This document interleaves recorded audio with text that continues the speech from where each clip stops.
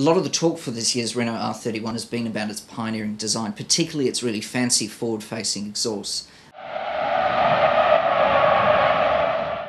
The strengths of Renault and what they have really going for them this year is really going to be about how pioneering their design has been. They've come up with some really clever innovations. The car looks really sleek and it proved itself to be quite rapid, certainly in the early phases of pre-season testing.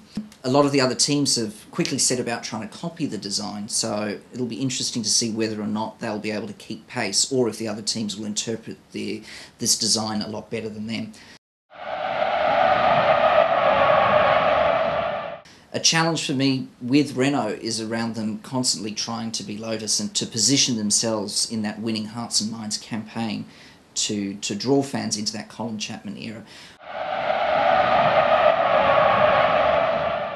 I think a real obvious challenge is going to be that they don't have Kubica driving for them anymore. Obviously, he had his horrific accident earlier in the year when he was rally driving, and the whole team has very much been built around the success of Kubica. He was their championship chance. So we've got Heidfeld come in to stand in for him. Will Heidfeld be able to perform to the same level?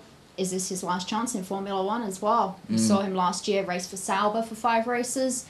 They replaced him. He did a bit of tyre testing. But does he have it in him to have a championship shot? For me, Petrov, I think of Vitaly Petrov and I think of a lot of Russian sponsors and I think of a lot of bent cars. I think that's unfair.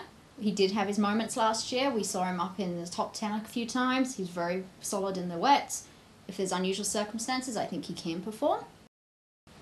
I think at this stage, though, for me, I'm still a little bit out on Vitaly. Um, I, I, think that if you can keep it out of the fence on a Grand Prix weekend, uh, that for me will be my improbable probability for him. I'm not yet rating him highly enough.